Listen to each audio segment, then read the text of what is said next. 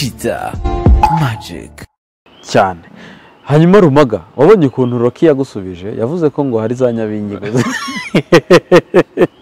ngo hari za nyabingigo ziba zibakorera wanditse ubutumwa wahagadumba ariko inshuti nziza niyo muteba. Mm. Eh, kandi inshuti nziza niyo mutebukana. Roki ni inshuti nziza eh, Mm. ni umuvandimwe. Iyo atebye kuriya ndabikundagiye Eh, Mm. kuko aramutse ari izo nyabingi zikora eh, twakabaye dukorana. Na- na- na- yewe ngabimbwa ntibagapfe baryoshya ibirori Eh, igihugu cy'abagabo nticyakabuzemo Eh, uzi neza ngo ntabwo bikibaho ntabwo bikibaho by'abagore babiri binabaye. Saranda ntabwo nta- yaharira ariko nawe urabibona ko saranda ataharira uretse ko nta n'igitekerezo kirimo cyo guhitamo umwe muri bo. Mm. uh, ariko nta n'impamvu yo kubahitamo umwe. Biramutse ari ibyakunze ubundi wahitamo bombi. Kuko bari abakobwa ni ubudasa ntabwo ukiri muto pe. kubera umuntu uri gutekereza ko ngo bibaye ngombwa babiri wabashobora. Noneho ari abagore.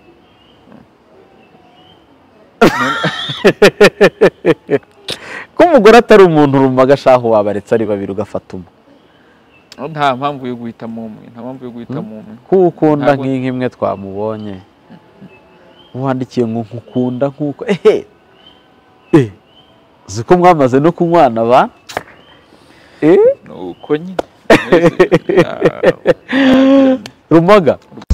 Kiza Magic. Reka ngo usuhuze nkwifurize kumererwa neza muntu ubana natwe umunsi ku munsi. Nizere ko watangiye neza icyumweru gishya twatangiye. Nizere ko watangiye neza ukwezi gushya.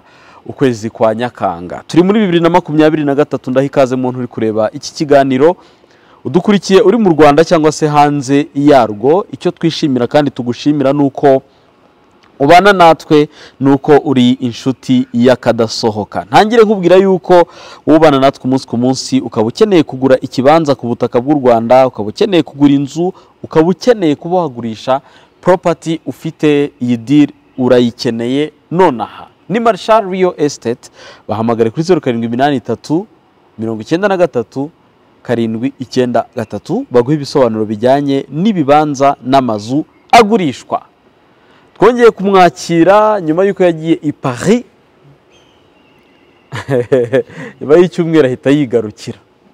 Nyuma y'uko aherutse ririya jambo kamobwe ntabwo nariherukaga.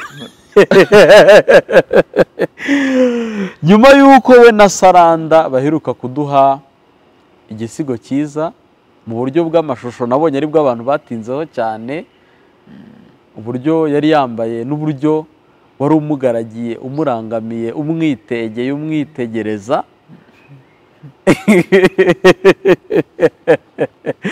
twishimiye kongera kwakira umusizi w'umuhanga benshi bakundira inganzo n'ubuhanga junior rumaga. Ikaze mu kiganiro. Hanezerewe igihe. Urakoze cyane cita magic. Uri amahoro? Ndamahoro cyane. Urashimira imana? Ndasongoye pe. Ura? Eh, ntindasongoye usonga urasongoye. Eh, bishatse kuvuga iki? Ndakomeye. Ndakomeye. Mu mpande zombi ndi nk'icyuma ndakiba. Mm.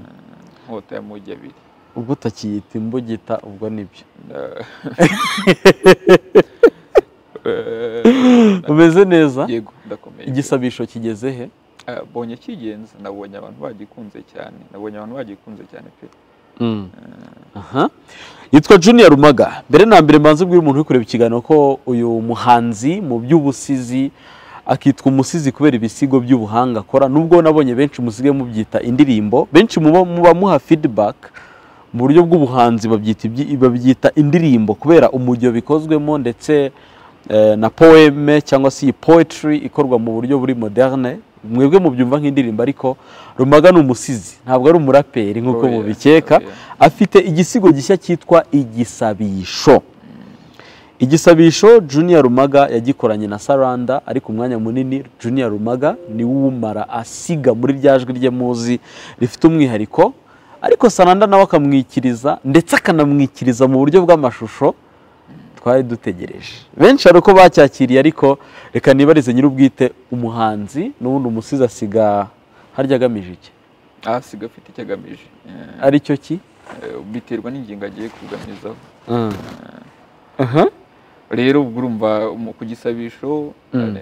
na- nari ngamije igisabisho ubundi Mm. Ni amaco y'inda cyangwa amaco y'inda igitero umuntu atera afite icyo agamije gusaba Mm.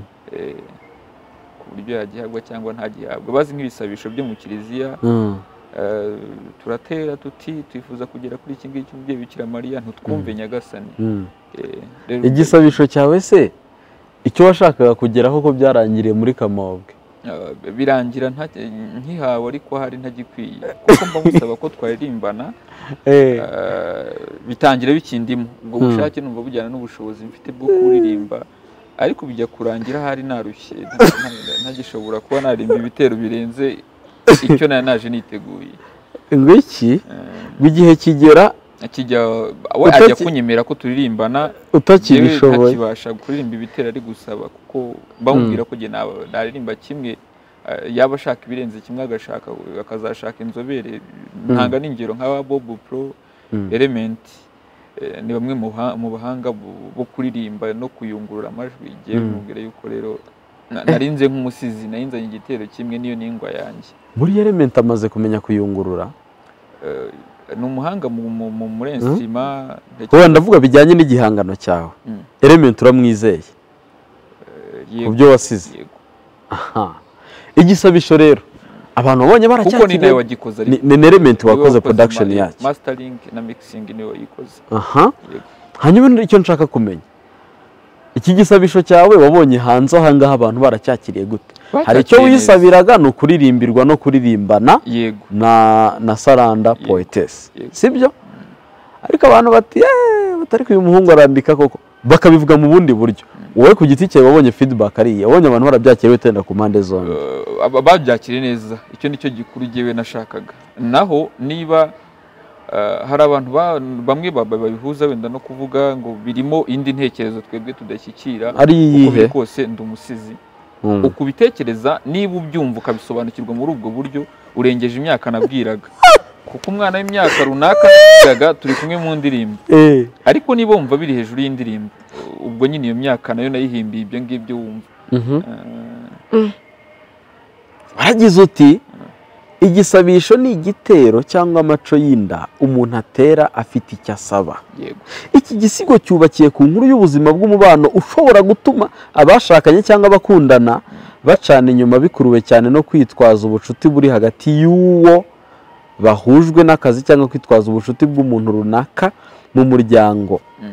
igisabisho kikaba kimwe mu bisigo biri ku muzingo ubwo ni alubumu ya kabiri izatugeraho vuba. Icyitonderwa ntabwo ari byo guhuza umuhanzi n'igihangano kuko umuhanzi akwiye ak- akwiye kwam- ukwiye kwam- ukwiye yambara umwambaro w'inkuru ya buri gihangano agiye gutanga kabone n'aho yaba mu nkuru atari we bwite wivuga ibi ni ukugira ngo byorohere ukurikira ubutumwa bw'igihangano kukisangamo murakoze. Kubera icyo bisobanuye ruma wari ubizi ko kitazavugwaho rumwe. Ntangira mvuga ko igice cya mbere ari na cyo nshyiramo akitso ni, igitero umuntu atera afite cyangwa amaco y'inda afite icyo asaba aho ngaho abana turi kumwe Mm. ntekereza yuko twasabwe kuririmba Mm, eh, kandi ntabwo abana tugira eh, umuhogo ufite umwanya wo kubaririmba igihe kinini. Ariko nitujya no ku bakuru hari abo bireba kuko genda umusizi nta- ntabwo ari rubanda uwo ari we wese Eh. ubwirwa ibyo tugiye kumva mu gice cya kabiri Mm. ni ho abakuru bo baza bakavuga ngo wakoze kutubwira kuko Mm. natwe hari aho dusabwa kuririmba kenshi ibitero birenze kimwe kandi uroye rwose twebwe twaririmba kimwe naho cyangana n'icya rugamba kikaza kikagira iminota mirongo ine cyangwa mirongo itanu ihe kikaba cyanagira isaha ariko ugasanga hari abibaza ngo umuntu aririmba neza iyo yarengeje igitero kimwe. Mm. rero urumva nagiye mbwira ibisagara byose ahubwo utarimbishemo ni we ikibazo Mm. abantu benshi mu byo nabonye bagarutseho ndetse si ukubigarukaho bibeshya ahubwo nk'uko byumvikana byumvikana nk'umu nk'aho wavugaga nk'umusore. Ubwo umusore twabonye ni rumaga kuko wikoreye wi- eh, nk'umuhanzi. Uvuga ku musore uri kwisabira ibyishimo umukobwa ibyishimo by'abakundana nyine by'urukundo. Eh, hari ababihuje gutyo kandi muri comments nabonye ari benshi. Noneho barongera bati uyu musore azi kuzimiza. Genda umusizi burya ntabwo ndi umwikirizi Eh, ubwo nyine wenda ababisobanura numva ni abahanga mu bwikirizi. Ngewe nakoraga kurimbana n'uriya mwana w'umukobwa umutoni saranda olivia. Mhm. Eh, bitangira jyewe mwinginga ko twaririmbana ariko birangira nyuma. Ashatse kuririmba jyewe numva arimo aransaba ibirenze. Ntari bubashe Hey, hari umuntu muri comments wanditse ngo ngo rumaga birangiye atinye kuririmba. Ahita ashyiramo akarongo ngo gucuranga. Ngo yatinye kwigana abandi baririmbyi. Atari ngo mu buriri araseka ngo gusa rumaga urasiga kabura icyago. Eh, urakagwira. Natinye kuririmba pe kuko ninkenera wenda nzagana ku nyundo nabonye mayiti popo yaradufashije. Eh, naho none nzikomereza ibitero cyangwa imikarago y'ibisigo mm, eh, kuririmba bigira abahanga babyo. Mm. nuko urasiga uti nyamanza iranyerera nibona. Na- namuhaga urugero. Urumva se narigeze nanuzuza igitero? Hari igihe inyerera ikona. Ndanavuga nti iyo inyereye mu masaka. Ntari n'ubwi nyereye masako ubwo yonnye ahubwo iyonnye ni ni iyoni ikanyaruka niyo niba ngo igurukanye umutanyi. Eh, Eh, akenshi na yo ibeshyirwa ko yayamaze. Mm. ariko inyereye ntiyona Eh, ahubwo inyereye iraramirwa. None se Mm. ubwo kuri saranda warayinyereje bigenda gute? Ntabwo namubwiye nta ntinyamanza ya nyirayo ntiyo- ntiyona ni nk'urugero kuko nana- na- ko nanakaririmbye Mm. ariko mu gusoza amera nk'umuntu usaraye. Ndamubwira nti njyewe n'igitero kimwe iyo kitaruzura mba maze gusarara rero ntungure uza kunsaba ibitero birenze kimwe Mm. Eh, ntikibanze cyo nzi nsobanukiwe nuko uko itangira n'uko irangira ndumva byo mbizi Mm. A- ariko ibindi niba ushaka ivuga neza cyangwa iba ndende urajya kuyunguruza amajwi muri izo nzobere Mm. nka bob pro element chita magic eh, ese mbwira bruce melody ariko yaracyumvise ego, na mbere yuko yagitanzeho ibitekerezo. No comment. N'amasamba yaracyumvise cyane tonto masi yaracyumvise yego yego. Ah, ntabwo ntunguwe. Kubera iki? Niyo mpamvu ari cyiza. Eh saranda umeua ongea sana. Umuntu witwa saranda kabisa. Iyo mwakoranye igisigo iyo mwakoranye collaboration biba ari byiza cyane. Ntabwo ari ubwa mbere. Ni ubwa kabiri mukoranye hari n'ikindi gisigo cye mwigeze gufatanya Uh, mu gihe cyo kwibuka muri bibiri na makumyabiri na rimwe tumva ari muri icyo gihe. Niba hagati ya bibiri na makumyabiri na rimwe na bibiri na makumyabiri umwe muri iyo myaka. Yego abakorana baziranye ubundi ntibakorana. Ntekereza yuko niyo mpamvu bitatugora. Ngo ngo we na saranda ngo? Abakorana baziranye ntibakorana. Uzumva nk'umuntu akubwiye ngo biramukoze. Mm, ukanywa amazi wenda akagukora. Mm. rero iyo mukorana muziranye ntimukorana. Eh, Mm. rero saranda ni umuntu tumenyeranye ni umuntu dusanzwe dukorana mu buzima gusuza ubwenge pe. Eh, ubwo uvuze nawe urabuzi. Ubwenge. Abakobwa uhitamo beza? Muri mu myaka imwe. Ntabwo wipasa muremure pe. Iyo atari saranda olivia aba ari bahari roth. Witabiriye miss rwanda? Sibyo? Si byo gusa ariko ni byo. Reka mbanze mbwire umunyarwanda uri kureba iki kiganiro cyangwa umurundi cyangwa n'undi muntu wumva ikinyarwanda nkagira inshuti nyinshi sinzi ikijya abarundi baragukeneye cyane sinzi niba ari mwahuriye i burayi. ntabwo ndajya gutara abantu b'i burundi baragushaka cyane bashaka gusogongera ubwoko bw'ubusizi bw'ivyese ukora. Babyita ngo ivyese Mm. ibisigo. Eh, Mm. ariko ndashaka kuzajya gutaramira i Burundi pe. I burundi nizere ko muri tayari. N'abantu b'abanyamurenge badukurikira bavuye masisi ye hose genda hasi aho muri gutangira ibitekerezo muri comment section. Urahasanga eh, urahasanga link ikujyana direct ku gisigo gishya cya rumaga. Ugenda ucyumve nuhagera ukore subscribe. Uraba ushyize itafari kuri rumaga ku giti cye itafari no ku busizi nyarwanda. Kubera ko rumaga ntabwo akora wenyine afite abasizi bagenzi be bakorana mu buryo bw'ubuhanzi bushingiye ku, busizi n'ubundi. Ikindi ni we musizi wa mbere mu rwanda ufite abantu bamwumva cyangwa se eh, abamuhanze amaso n'amatwi abamuhanze amaso n'abamuteze amatwi barenga ibihumbi ijana. Abo bantu bumva ubusizi ubundi nticyagakwiriye kuba igitangaza kubera ari umuco nyarwanda. Ariko nanone kuba tumushyigikira tungana dutyo ntabwo ari bibi. Mureke dushyigikire junior rumaga kugira ngo akomeze kwaguka. Youtube channel yitwa junior rumaga n'izindi mbuga nkoranyambaga zose niko zitwa. Urasangaho ibisigo byose yakoze album mawe hafi ya yose mu buryo bw'amashusho iragaragara ariko n'amajwi aba ariho. Urahasangaho umugore si umuntu hari igisigo yakoze na bahari ruth uvuga ngo niba ari ngo y'abasore n'ibindi urabisangaho icyo nkwijeje ni ukuryoherwa. Rumaga eh, igisigo abantu bagende bacyumve bagitege amatwi bagisesengure ibyo wumva ukumva birakurenze ubwo ni byo nyine. Eh, baguha irangamuntu Eh, niwumva ngo ngurumva ngo ngo cyabaye igishegu cyane ubwo nyine ni kuri wowe. Eh, urakuze Igihe- yandikiye ibiragano byose. Ubwo uri umugenerwabikorwa w'igihangano. Turaza kukigarukaho mu buryo bwihariye. Eh, umaze iminsi itaragera ku kwezi uvuye mu rugendo unyemerere rwita uruzinduko kubera yuko wari waruzindukiye kandi wari wabyiteguye ku mugabane w'i burayi nk'umusizi aho yagiye hose ni ivomo kuri we. Niki rumaga yavomye i burayi? Mu ncamake ruriya rugendo wavuyemo cyangwa wari wagiyemo rwari rugamije iki Eh, mbere zari inzozi kumenya uko i burayi hasa kuko kuri ibyo byari ubwa mbere Eh, Mm. nabonye bundi ahantu hose ni amahanga uretse mu rwanda Eh, icyo navukuyeyo ni ni ibyo bita konegisiyo ni abantu Na- na- Mm. nasanze hari abantu bakunda ibintu byanjye batanabyumva Mm. kandi ushobora kugutaramira abera bagakunda uburyo urimo urabaganiriza batumva ikinyarwanda hari abo twaganiraga mu ndimi zabo ariko hari n'abo nabwiraga mu rurimi rw'iwacu kuko wenda niba ari nk'imbaga ngari utari bubashe ku- kurobanura impugu yaturukamo Mm. ah, ukababwira mu kinyarwanda ariko ukabona banyuzwe. Byanyeretse ko rero mfite imbaga nini mu rwanda nkagira imbaga nini no mu rwanda rw'iyo byansabaga kubanza kumenya ngo kugira ngo noneho eh, imvura iguye nisubira kugira ngo nzagire indi mpamvu yatuma ngaruka ngaha nk'iyari yanzanye. Bizava kuki? Ni uko Mhm. wagize konegisiyo y'abantu ni uko wagize umubano mwiza n'abantu bakoranye nabo ni uko Mm. wamenye kwimurika eh, ariko mbyita uburyo wasohotse mu ngamba burya ni byo bisubiza intore mu ngamba. Mm. Eh, mu- ncamake byaba ibyo ngibyo. Nibyo ngibyo. Biri mu byari byakujyanye eh, ku mugabane w'i burayi.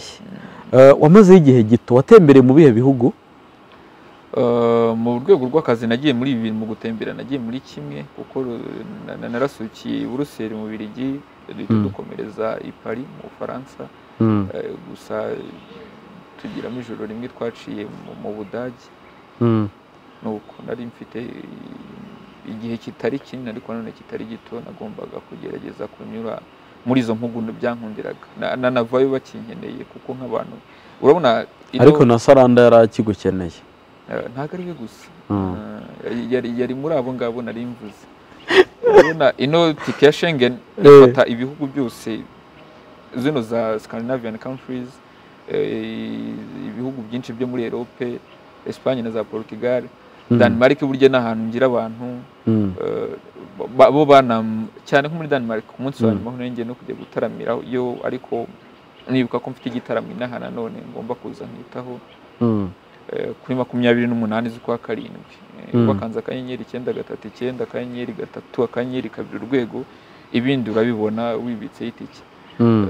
Eh, ntabwo nari umuntu ari butindeyo. Ntabwo nari umuntu ari butindeyo ariko nanone nzasubirayo. Mm. kandi bitari kera. Mhm. bitari kera uzasubira ku mugabane w'i burayi. Benshi barifuza ko uzahagera none ufite nk'ukwezi. Cyangwa ibyumweru bibiri. Niba ari igihe kinini wamaze ukuyemo igihe cyo gufurayinga ntabwo kirenze iminsi itanu. Eh, icyenda iminsi icyenda ariko ni mike uko byagenda kose? ni mike kuko ugereranyije njyewe nabonye rumaga bageze i burayi na rumaga nabonye uri i kigali nta gihe kinini cyari gishize ugereranyije n'abandi. ariko bihura n'igeno ry'imana ndetse na gahunda wari ufite. Eh, wagarutse mu rwanda rero ukomeza n'imyiteguro uri gutegura kumurika mu gitaramo cyawe gikomeye. Giteguye gute? Kizabera he? Ni iyihe mpamvu umuntu uri kureba iyi videwo azaza mu gitaramo cya rumaga? Aho rero iyo mpageze mbera nka kangaro nshinga umurizo. Ni ukuvuga ni igitaramo ni igitaramo kiri ku Ushinga. itariki makumyabiri n'umunani z'ukwa karindwi. Ne- kuri jyewe ntabwo mujya mbona uburyo bwo kugisobanura ko ni igitaramo ndi kwitegura mu rwego rwa nyuma. Warakunze igisigo cya rumaga kuva kuri ubu ngute kugera kuri iki gisabisho? Mm. ubwo ndenze zakumira umukobwa ivanjiri umugore si umuntu intambara y'ibinyobwa nkurahiye ko uzanezerwa wabikundaga mu mashusho utaramubona imbona nkubone Mm. uzabikunda uzabikunda ndabikurahiye ni igitaramo kizabera mu mbuga ngari hano kampu kigali Mm. kizaba ku itariki makumyabiri n'umunani z'ukwa karindwi n'ejo bundi Eh, umuntu wese uzi wabonye kuri alubumu yanjye mawe azaba ari mu gitaramo cyanjye tuzakorana Mhm. niba warakunze intambara y'ibinyobwa rukiza ngabona rusine tuzakorana niba warakunze amazi ya nyanja aline sano tuzakorana. Niba warakunze kibobo juno kizigenza tuzakorana. Niba warakunze nde niba warakunze nde. Umuntu wese uzi ko wakunze kuri alubumu azaba ahari. Ntekereza yuko kandi azaba ari nk'umusizi kuruta kwaba nkawe. Mm. ndashaka ko tuzakora igitaramo nibura eh, gisiga andi mateka na cyo kikaba cyaba ikindi gisigo gishya umuntu ashobora kubaka uwo munsi. Mm. Eh, rero nta kindi nkeneye kitari mwebwe. Nta kindi nkeneye kitari mwebwe. Ku mbuga zanjye na za nyirakabugabuga hariho uburyo wabonamo itike hari ukujya kuri gahunda dot pamu kashi pamu y'ikiganza na kashi ka y'ikinyarwanda dot com ukagura itike ukayibikaho.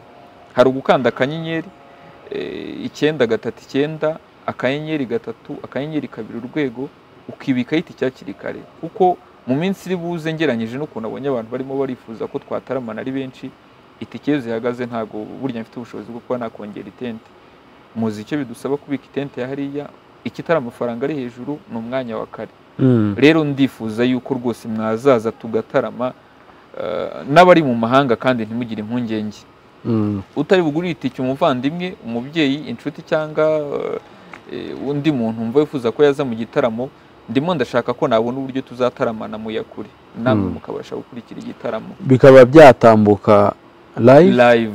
Eh, mu buryo runaka ugaterekaho wenda ugasukaho akunyu bakabona ukabasha gukurikira ugaterekaho icyo wejeje nuko ndi- ndifuza ko twazagira igitaramo cyiza.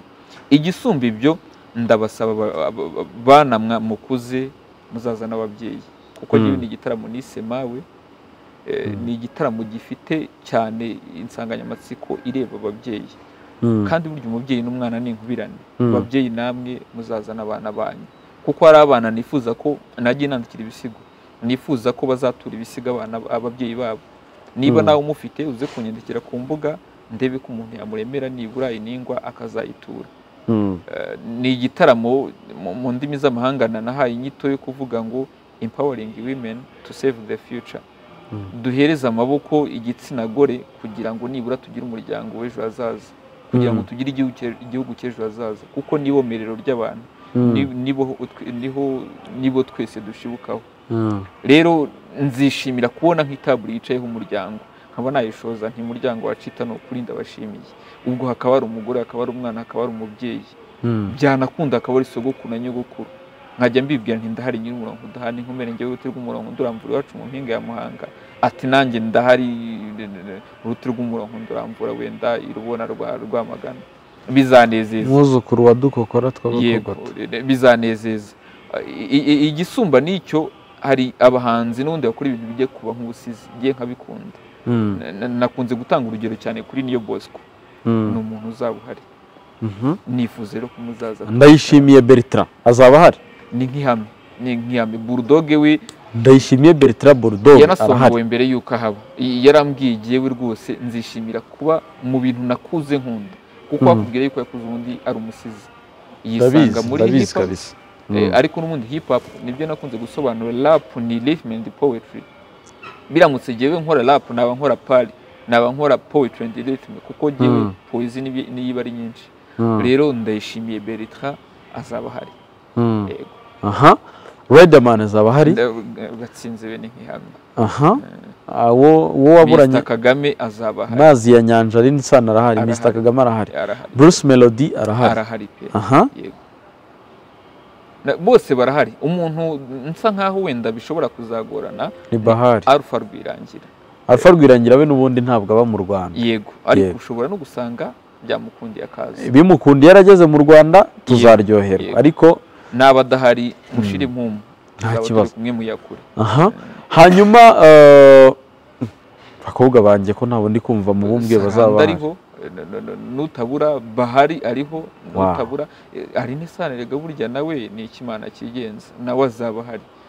Ni- benshi Eh. ni benshi. Muri komera mukobwa noneho nakoresha abakobwa gusa kandi benshi cyane. Eh, Eh. Rero muzanezerwa harimo abo ndi gukeka. Muzanezerwa nanjye ni nawe uzanezerwa ukunda kuvuga ngo uhise ugira ubwoba. Si umukobwa. Nanjye ni ukuri ni ukuri muri abo bakobwa urimo urimo namenya ni uwuhe?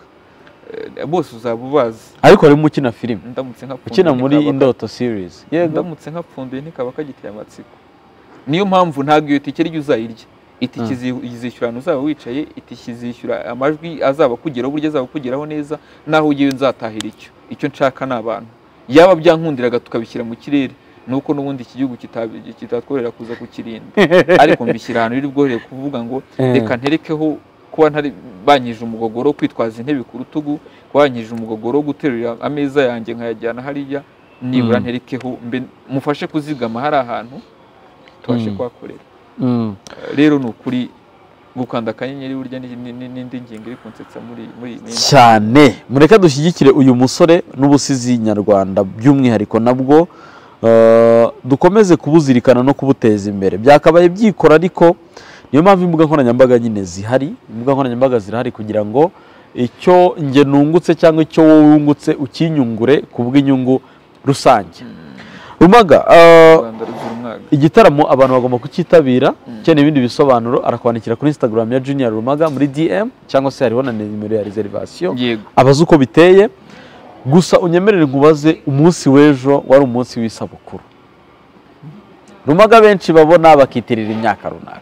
Rumaga benshi babona bakavuga bati ni umusaza wihishe mu bakunda kukugereranya n'umupeti witwa fabrice w'inyam- w'inyamasheke. Wabonye ibyo dumba yapositinze Wabonye ibyo dumba yapositinze dumba dumba ko utamuciriye wa mugani se? Ujye kuri ntuze yiwe kuri ko utaciriye dumba wa mugani?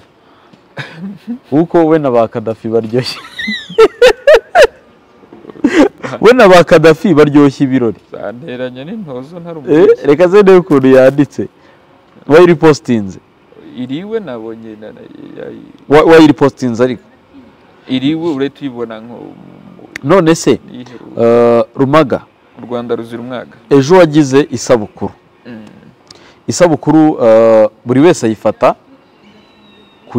ayifata uko ashatse bitewe na n'amateka bitewe eh, n'impamvu. Hari abantu batashobora gukora celebration y'isabukuru babifata nko guta igihe cyangwa se nk'ibintu bidakwiriye. Abo nabo twabumva ni impamvu zabo niyihe mpamvu rumaga acelebratinga anniversaire umwaka wiyongereye ku wundi.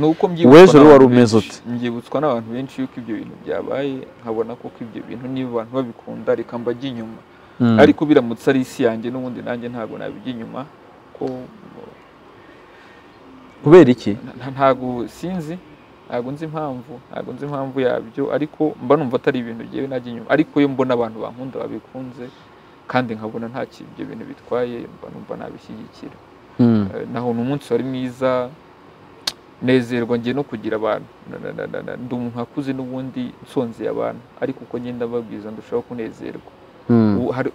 U- wisanga abantu utazi bakwandikiye. Eh, bati turagukunda bati tu eh, uyu mubyeyi n'ubundi ntabwo muri bumenye ariko ari bunyihanganire Mm. ndaguha nk'ingero nk'urugero rw'umubyeyi umwe wany- wanyoherereje ubutumwa. Abuvuga mu muryango. Ariko nabanje ndakubwira nti mwagiye muba abana beza nka rumaga. Ndamubwira ndakubwira nti rumaga ndamukunda.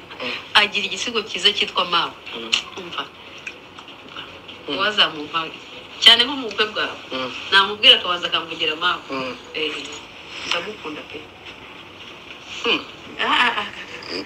Ah. urumva nk'amarangamutima uyu mubyeyi afite ku kubera igihangano. Kuri ubwo ndamukunze kandi atari umusitari. Urabizi Urumva? bizi cyane nakubwira nti rumaga ndamukunda n'umwana mwiza. Umwana mwiza ni umuhanga. Ndumva ari umukecuru n'umusaza. Urumva na na numu- numu- ntabwo nziranye nawe. Ni umubyeyi mukuru ugiye banyohereje iri jwi. Mm. mpita rero mbona ko iki gihugu kirimo umwenda cyane ba nyiracyo. Uh, abantu nk'abo rero bakubaho mu bihe nka biriya ntabwo bagakwiye kubajya kure mu bihe byose. Eh, Mm. intwari ntigaruka ariko cyane nigarukira. Iteka rero mpora ngarukira abantu nk'aba ngaba. Nkibuka yuko kuba ndi hano ari bo nkibuka yuko hari Mm. abantu banezezwa n'ibyo nkora bahabwa ubuzima n'ibyo nkora. Niba ashobora kuvuga ngo mu bukwe ubundi bwakabaye ibirori. Arifuzamo igisigo mawe. Ubundi cyakabaye agahinda. Bivuze ko umuntu aba yarakozwe mu ndiba y'umutima. Ndanezerwa cyane rero. Niyo mpamvu umunsi nk'uriya nanjye njye inyuma y'abantu bavuga ngo dushyigikiye rumaga nanjye Mm. nkamushyigikira. Imana ijya igushyigikira rumaga cyane. Ubwo ejo ku munsi w'ejo wujuje imyaka ingahe? Eh, ni cyo nari ndimo ndasobanura n'ubundi dumva rumaga nanone se uracyakomeje? Nibara mu miganura nari imiganura itari mike. Ntirwiza kurinda gusa rumaga ngiza nkorana ikiganiro nawe nicaranye n'umusemuzi. Nsubiza ikibazo nkubajije kiroroshye. Ejo rumaga yujuje imyaka imyaka ingahe? ni imibare. Cyane nshima icyo namariye rubanda. Isabukuru yaba buri munsi cyane hari icyo wamaze Mm. niyo mpamvu ntita ku myaka. Eh ko hari abahora bazizihiza bakanazihiza kabiri mu mwaka. Ubu bafite icyo bamariye rubanda. Nanjye gihari nabikora. Eh rumaga kirahari. Ubwo rero nzajya mbikora. abo baziseleburetinga n'igihe kiba ntacyo ahubwo ba- Na- bangiza iby'abandi. Hanyuma rumaga umwaka. mu byifuzo wahawe n'abantu ibyo abantu bakwifurije cyangwa ibyo wabwiwe cyangwa ibyo wakorewe ejo tuvugana ndabyibuka ni ibirori wa celebrating uri kumwe na mama ukubyara nabonaga hari n'abandi bantu ubwo ni abavandimwe bawe. Ah, umunsi w'ejo wari uvuze iki? Ibyifuzo wahawe ninde wagutunguye? Ubwo turavuga cyane cyane ku byari ni nyina Imbuga wa jambo uriya mukecuru ntabwo yari yampaye gahunda y'uko angira urabizi ko ejo iki kiganiro muri kumva cyari bukorwe ku wa mbere. Mbona ikimana arinjiye ndavuga nti se bikugendekeye bite? Ati narinjiye kugusura ibiki n'ibiki. Biranezeza cyane. Burya ikwereka yuko nyine ni umunsi wasumbije indi uburanga. Ah, Mm. kuba azirikana umunsi wavutseho kuba yi- yifuza kuba kumwe nawe atita ko nawe wavutse yifite andi magahunda ariko ntiyayitaho yita kuri wowe. Mm. ni kimwe mu bintu byanejeje. Ikindi gikomera jyewe iyo ubutumwa koko bwaremaga. Ejo hazaza h'igihugu ni heza ubwo Mm. ndavuga nk'ejo hazaza hanjye hakabaye heza Mm. kuko nagiye mbona ubutumwa abantu bambwira rumaga imana igihugu umugisha waduhaye ubuzima waduhaye ubuzima nyuma yo kumva ngewe kibobo nabashije kuva mu muhanda ntangira kugerageza utuntu duto ariko none ngewe ndashaka kuzaza kugushimira nkwereka icyo kibobo yamariye Mm. uwo muntu nahise mutumira mu gitaramo n'ibinkundira azaza Mm. Eh, namuhaye itike. Ntabwo ari we gusa. Abandi abana b'abakobwa bakakubwira ngo twebwe kuri kaminuza y'iwacu twasa ari umwarimu wabigishaga ntabwo ndi buyivuge akajya bagora nyine afite ibyo abasaba kugira ngo babone amanota. Mm. bamusaba bagiye kwigisha hari isomo bamusabye guki- gukina komera mukobwa bayi- bayikoresha nk'i- nk'i- nk'icyigisho Mm. nyuma ngo yo kumva iyo komera mukobwa nta mukobwa wongeye guta- gutaka ayo mabi. Bivuze yuko igihangano kimwe gishobora kuroha ubuzima bw'abantu igihumbi nk'uko igihangano kimwe ki- gishobora kurohora ubuzima bw'abantu ni ho mbona ko mvuga ngo imana igiye impa ubushobozi. Kuko mfite Mm. ubushobozi igihe bwo guko- bwo gukora ubushake bwo gukora ibisigo byinshi kandi n'ubushobozi bwaboneka. Mm. ariko wenda kugira ngo mbikore mu buryo mba nshaka kubikoramo mubona ko bitoroha. Mm. Ah, rero imana igiye inyihera ubushobozi nakakorera ubusizi. Nkibaza ntubundi udakora ubusizi akora iki? Cyane. Hanyuma rumaga wabonye ukuntu roki yagusubije yavuze ko ngo hari za nyabingigo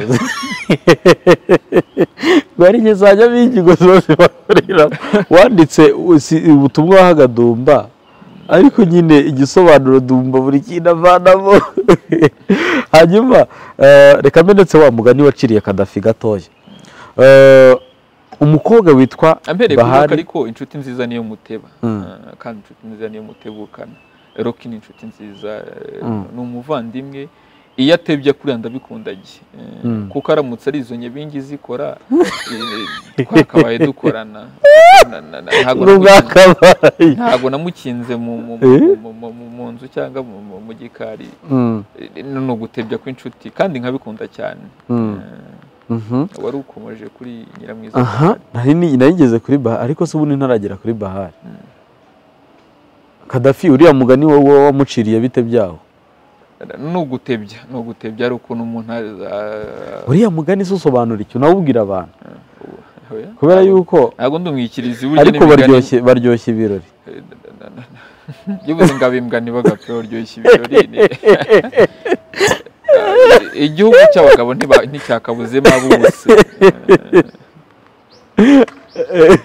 hari umutware umwe ngo yigeze gukora amabi ngo aratangwa Eh, ageze ibwami rero ngo aza gutebya ngo na- na- na- nakabaye ubundi ndokotse iyo ntatangwa n'iyo mbwa ikuri mu maguru. Urumva umwami arimo arabwira umuntu uri mu maguru y'umwami byaramurokoye. Ni inkuru tuzi ngo nakabaye ndokotse iyo mba ntatanzwe n'iyo mbwa ikuri mu maguru. Eh, baba we. Rero uko biri kose na ni ugutebya ni ugutebya kandi gutebya ni ikinyarwanda. Igifura ahubwo n'u- n'uwo batera ubusa akababara. Kadafi ariko yahise yiyakira ko nyine badakwiriye gupfa bagenzi be.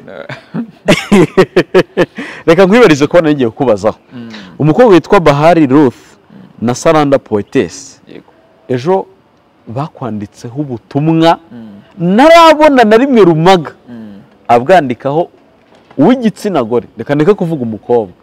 Uw'igitsina gore ab'umukobwa ab'umudamu abo uwo ari we. Amukomera ku buhe butumwa muri abo bombi. Ubu kubangukiye ntacyo bitwaye reka mbere ku bwa bahari ruth ni naho wasubije mesaje oya nta n'umwe ntasubije narebye nkumva sinzi ukuntu umeze oya ndavuga ibyo njye nabonye.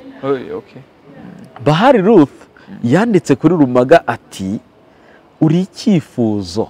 Uko mvuga ijambo mwumve ko hariho n'utu emoji umutima cyangwa akandi kantu kameze uko? Nkuzuriza se cy'abanyarwanda ariko ukomeza. Aha, Mm, uri icyifuzo. Cy'abanyarwanda. Uri impano. Y'abanyarwanda. Uri umugisha. Ku banyarwanda.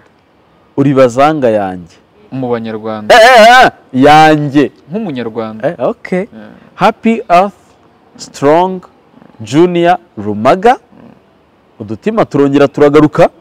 N'ijana buriya ni nyine n'ijana ku- ijana Mm. n'utundi tuntu tumeze nka two. Baho kandi ubeho neza rudahinyuka. Arakagwira mwiza ndagukunda birenze. Ni ifoto muri nde? uwitwa junior rumaga araza rero ati rukundo. Nudahinyuka kunkunda uko ubikora Mhm, ngo ejo wumve ko wantsindiye mhm. nta gisibya wanyigaruriye nanjye nzamenya urwo rukundo. Nudahinyuka uri uwanjye kandi nudahinyuka ndi uwawe. Ushyiraho umutima.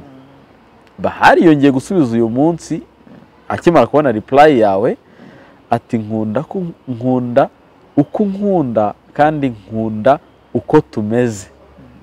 Nudahinyuka uri uwanjye kandi nudahinyuka ndi uwawe.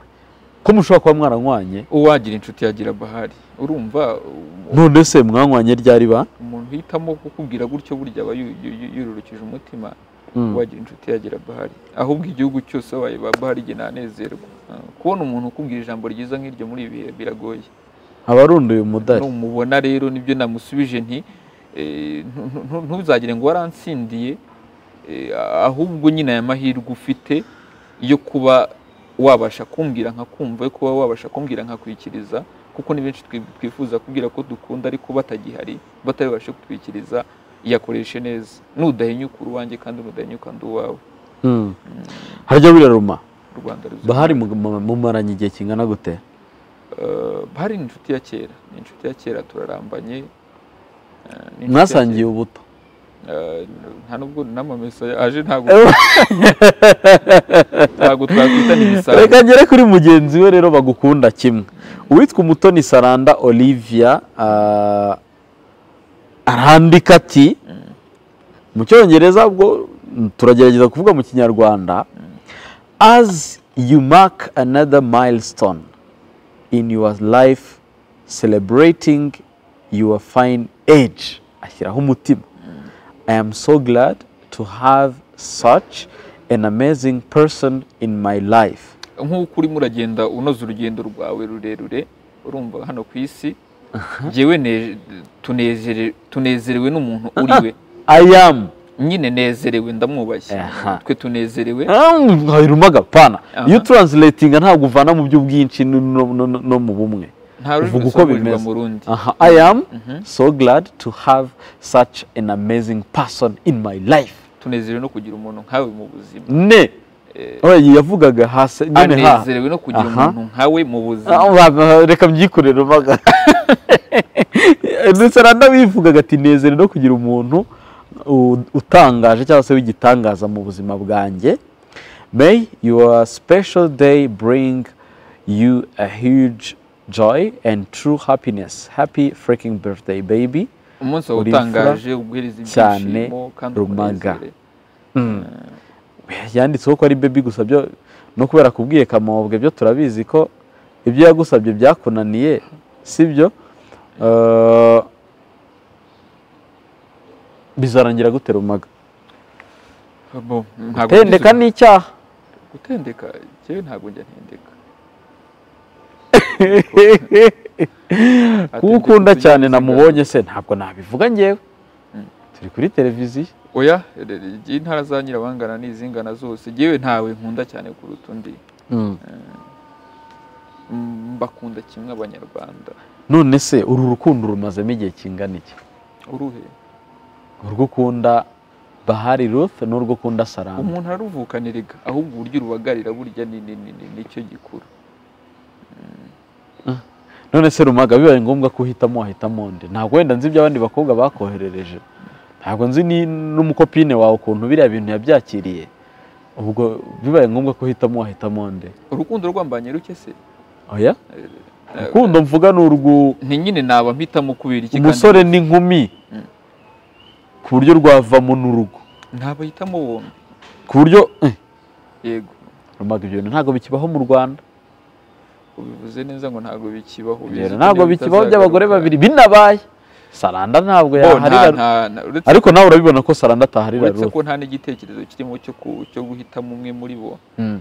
ah, ariko nta n'impamvu yo kubahitamo umwe. Mm. biramutse ari ibyakunze ubundi wahitamo bombi. Kuko bari abakobwa ni ubudasa. Yewe si bo gusa. Nagiye nkwereka ubutumwa bagiye banyohereza ntabwo uri umwana. Ntabwo ukiri muto pe. Kubera. Umuntu uri gutekereza ko ngo bibaye ngombwa babiri wabashobora. Noneho hari abagore.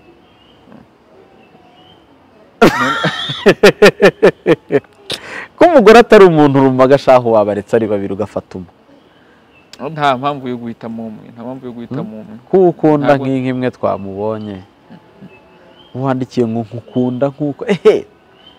Eh uzi ko mwamaze no kunywana ba? Eh? Ni uko nyine. rumaga? Abatekereza ko uh, biri ukora biba biri mu rukundo n'icyo wababwira? Cyane ko binashoboka cyane. Urukundo rw'umusore n'inkumi abatekereza ko ruba rurimo n'icyo wababwira? Nta nababwira ko umuntu wese nkorana nawe mba mfitanye umubano nawe Mm, Eh, cyane njye nshingira ku bucuti mfitanye n'umuntu iyo njya gukorana nawe mm, urwo rukundo ru- ru- rwagaragaye kuri bariya bakobwa bose bari muri komera mukobwa mm. rukaza rukagaragara kuri Aline Sano muri mazi ya nyanja rukagaragara kuri rino Bahari. Sano muri- ntabwo ari cyane. Byakabaye cyane. Umuntu unemeye kwitangira nawe akemera kunkurikira. Eh, urukaza rukagaragara kuri bahari mu y'abasore rukagaragara kuri saranda mu gisabisho rukazagaragara rukazagaragara ku bandi bakobwa bagiye gusohoka kuri alubumu yanjye ya kabiri. Dina ariho? Eh, byakagombye kubihamya Mm. rero sinzi niba ari rwa rukundo uri gutekereza dina n'umuntu poetes umwe. yego Mm. ni inshuti y'akadasohoka cyane. Mm. rero nta mubano usumba uwo mubona ubu- uwurimo uyu mubano ndi kuvuga ntabwo ari umubano w'ibihangano. Urukundo rushobora kuganisha. Ni urukundo ku buryo nka saranda mwanabyarana ni urugero nyine. Oya nta birimo. Mm. Umukopine wawe yakira gute uburyo witwara kuri bariya bakobwa? Barakwandikira kuri social media umuntu ngo ndagukunda ngo nk'uko ehe ngo noneho. Umukopini ubwo ni ukuvuga? Umukopine nyine eh, girlfriend nyine lover. Ubwo hazajyaho hajyaho esi niba ariya nyine nibere bansubiza. Ni ku isabukuru ukabona bara byanditse nsubije kuri ni ukuvuga ngo nta wundi w'umwihariko ufite ukabona nta wundi w'umwihariko ufite muzabyarana utari bariya babiri tubona. Ari nawe ewe n'ubundi nyine haracyari kare. ndacyafite byinshi byo kwitaho kuruta si warenze ubugimbi se? Kurenga se ugira ngo bi- bikwemera kujya kugimbura abandi. Nta nta nta haracyari kare haracyari kare ni- urwo rubanza nindutera nzababwira murumfashe Mm. ariko none haracyari kare. Nutera urwo rubanza rw'iki rwo gushaka umuntu nzirundurira nzababwira murumfashe. Ngo nushaka umuntu? Uzambara urugwaho Eh, wa muntu uzajya ubona ukamuhamagara rumaga wundi. Eh, Mm. nzababwira. Ariko n'undi saranda niko muhamagara. Oya. We aguhamagara bebi ubwo aguhamagara bebi uraza umukobwa uguhamagara bebi uri rumaga ukabyemera ni twa turingushyo nyine no kuryoshya ryoshya umuntu kugira ngo mu- mu- mu- mube kumwe Eh. nta bisumba ibyo Eh. reka tugane ku musozo reka tugane ku musozo rumaga n'ibyabariye abakobwa be ntabwo bizapfa gusobanuka. Yewe ndabizi neza ko bamukunda cyane kurenza uko abitekereza. Iki wowe yerekana ibariza wazi umubyeyi ufite umukobwa wese? Mm. umukobwa udakunda rumaga akunda nde umukobwa udakunda rumaga? Ko jyewe ndi inshuti yikundira nka ba cyane roki nkaba inshuti y'abagore. Yikundira nka ba roki yikundira ba w'abagabo. dumba ba kadafi. Eh, nyine ntabwo ndi kamara. Ariko nibura mu bakundwa nanjye nawe sha mubigenza ahubwo urimo. Ndarezerwa rero kuba inshuti y'abagore. Niyo nguyu mpamvu n'umugore burya nta Eh, mugabo niyo umwe. ni ukuvuga ngo abakobwa barizanye. Hari abo nazanye? Hari n'abizanye. Muri nawe yesu yazanye. Muri ya baramurwaniye tu? Ya ntabwo bakurwaniye fizikari bakurwaniye mu buryo bw'imitima. Nkuko nanjye iwanjye warwanira eh, ibaze ko wabuze amahitamo. ndicara nkabahimbira ndicara nkabatekereza ndicara nkabibuka yewe abenshi ndanabahamagara. N'ubishaka ze kwandika nimero Akora nanjye umaga. ndabarwanira rumaga narakubonye uri kuvugana n'umukobwa. Ijwi riba ryahindutse. Habe na rimwe. Wiki ntabwo ubyuka duhurira. Eh? Nta nta kintu nakora cyatuma mpindura ijwi. Iyo ari ikiba jyewe burya nawe bukore mu bisigo. Eh. niko nawe buhindura ijwi kuko nifuzaga yuko nk'umuryango Nta kibazo. Ah, reka reka dushimire abantu bakurikiye iki kiganiro. Ah, iminsi y'igitaramo cya rumaga iracyahari. Ah, igihe cyegereje tuzakomeza kugenda tukibagezaho kugira ngo muzakimenyere igihe ndetse mwitabire tumushyigikire. Reka ngane ku musozo w'ikiganiro cyacu nk'umuhanzi muharire uyu mwanya agenere ubutumwa abantu. Muri kureba iki kiganiro rumaga umwanya ni uwawe? Eh, nta butumwa busumba ibyo tuba twaganiriye. Genezerwa no kuganira n'abantu tuziranye. Ngo abakirana baziranye ubundi ntibahishanye utwobo burya ni nko kubwira ngo ntabwo uzarohama mpari. Rero genezerwa no kuganira cyane nawe cita kuko umwe mu bantu nyine banzi eh, nkiri urucanda muri bino bintu. Mm. nezerwa no kuganira n'abantu tuziranye rero. Eh, icyo mbasaba muzaze kunshyigikira. Niba bino bintu natumye bibaho muzareke na byo bitume mbaho. Mm. Eh, kandi gutuma mbaho kwanjye gukomeza ku- kuramba kwanjye muri byo niko kuramba kwabyo. Bi- bi- binsaba kimwe cyangwa bibiri kugira ngo mbikore. Inkuru ziba ziri inyuma ya kamera nyinshi zitavugwa ibyo byose rero yo uko mukomeza kunyereka yuko ibyo bintu mubikeneye Mm. ni cyo gi- gituma nkomeza kubikora nababwiye ko gendanyije kaminuza na, na, na, na, abana twiganye ubu ngubu barimo barakora mu bigo runaka bashobora kuba binjiza buri kwezi bino bintu kuko nzi ko bitanga ubuzima kuri benshi nzi ko bitanga akazi kuri benshi ninkora igitaramo ntabwo ndi bwifilime ninkora igitaramo ntabwo ndi Mm. bwibakinge ninkora igitaramo ntabwo ndi bwigikorera iwanjye ninkora igitaramo ninkora igisigo ni ukuvuga ngo bino bintu turi kumwe byahinduka ubuzima. Mm. rero kugira ngo bibyare ubuzima niba byaraguhaye ubuzima reka na byo tubihe ubuzima. Nta kindi nkusaba kanda akanyenyeri icyenda gatatu icyenda akanyenyeri gatatu akanyenyeri kabiri urwego. Yesi urahita ubona ngo Mm. mawe abamu lonshi konsati Mhm. ubyondeho ube wizigamye iti cyakiri kare zitarashira. Kuko hari Mm. igihe uzajya gukandaho wawe. Ariko iyo mesaje umuntu azayikenera ku munsi w'igitaramo. Ayibikaho ushaka ukuntu yibika kure kugira ngo ku munsi w'igitaramo uh, kuko ushobora kuzajya gukanda noneho bitagikunda nk'itike zitagihari kandi Mm. nzabara ubinyereka mbibona ko wifuza kubana nanjye Mm. Eh, ushaka link ushobora kujya ku mbuga zanjye ukajya muri bayo cyangwa aho nandika imyirondoro yanjye ibirimo uretse ko wanakwandika gahunda akadomo pamu kashi iyo ka ni ka ya kinyarwanda pamu Mm. y'ikiganza akadomo komu. Urabona itike yawe uyizigame kandi mureke kino kintu tukigira icyacu. Mm. nzanezezwa no kumva buri muntu ateye intero ati ndahari. Mm. cita ati ndahari. None ukajya umbariza mugenzi wawe uti nawe urahari cyangwa Mm. ntabwo wamenya aho bizabera. Reka dushimire abakurikiye ikiganiro mwakoze cyane. Mureke dukomeze gushyigikira junior rumaga na bagenzi be. Ni iby'agaciro gakomeye ku mpano zabo n'u rwanda. Cyane ko rumaga avuga ngo u rwanda ruzira umwaga. mwakoze cyane. Cheetah Magic.